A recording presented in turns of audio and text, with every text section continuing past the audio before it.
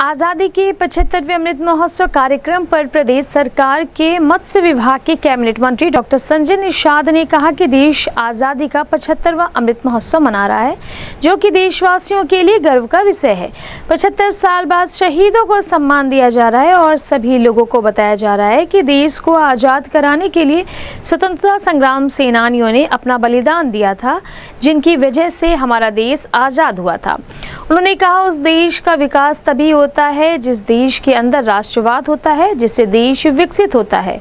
कुछ लोग राजनीति चमकाने के लिए राष्ट्रवाद का विरोध कर रहे हैं। ऐसे लोग कभी सफल नहीं होंगे। उन्होंने नागरिकों से अपील करते हुए कहा कि सभी नागरिक 13 अगस्त से 17 अगस्त तक अपने घरों पर तिरंगा झंडा लगाएँ। इस संबंध में गोरखपुर न्यूज़ से बात करते हुए उत्तर प्रदेश सरकार के मत्स्य विभाग के कैबिनेट मंत्री डॉक्टर संजय कुमार निषाद ने कहा आज़ादी का अमृत महोत्सव इस देश और एक देशवासियों के लिए बहुत गर्व का विषय है। पचहत्तर साल बाद किस आज के दिन में कम से कम शहीदों को। ये देश में कैसे गुलामी थी किस तरीके से आताताइयों ने इस देश को कब्जा किया था।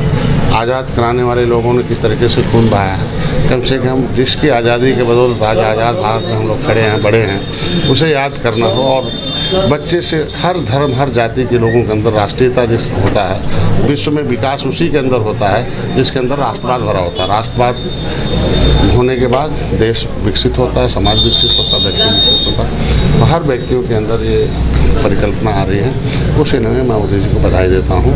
और क्योंकि कुछ राजनीतिकरण लोग, जो थे तुष्टिकरण के लोग करने के लिए, कुछ बच्चों के अंदर जहर घोल कर राष्ट्रवाद के खिलाफ थे। कम से कम अगर हम शुरू में ही अगर हम अपना पेड़ लगा दें अपने बीज को राष्ट्रवाद का डाल देंगे तो वो कामयाब नहीं पाएँगे और राष्ट्र का निर्माण हो जाए उन बच्चों का भी भविष्य बने। नागरिकों से क्या कहना चाहेंगे? नागरिकों से अपील करूँगा कि ये तिरंगा किसी पार्टी का नहीं है न किसी व्यक्ति का है देश का है और ये भारतीय संस्कृति का है और इस देश के हर एक नागरिक का है उन शहीदों के नाम का है जिन्होंने इस अपने खून को बलिदान देकर हमारे लिए ये स्वतंत्रता दिलाई